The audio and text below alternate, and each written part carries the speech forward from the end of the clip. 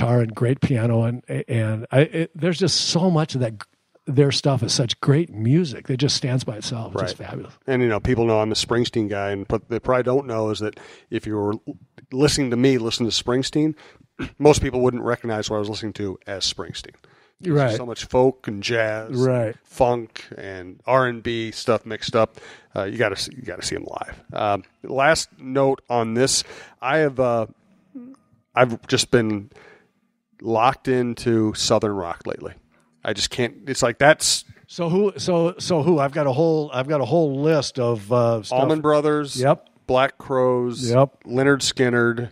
Uh, the amazing thing, uh, Lynyrd Skynyrd just keeps growing on me. Yeah, it's Lynyrd. really yeah. weird. Yes, some of their you talk about guitar riffs. Oh, some man. of the some of the stuff that those two guys play So back. good, so Well, crisp. that that smell is is one Oh, of my all time favorite Fantastic songs. You're- song. Yeah.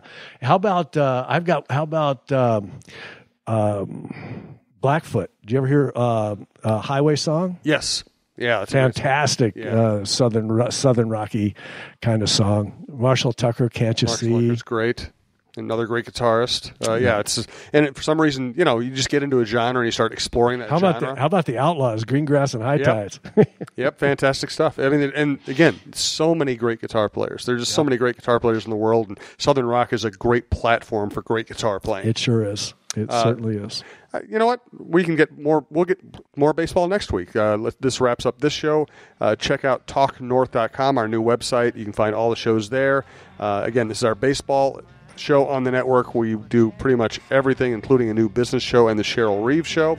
And we'll be back to talk to you more about the Twins and Major League Baseball and rock and roll next week.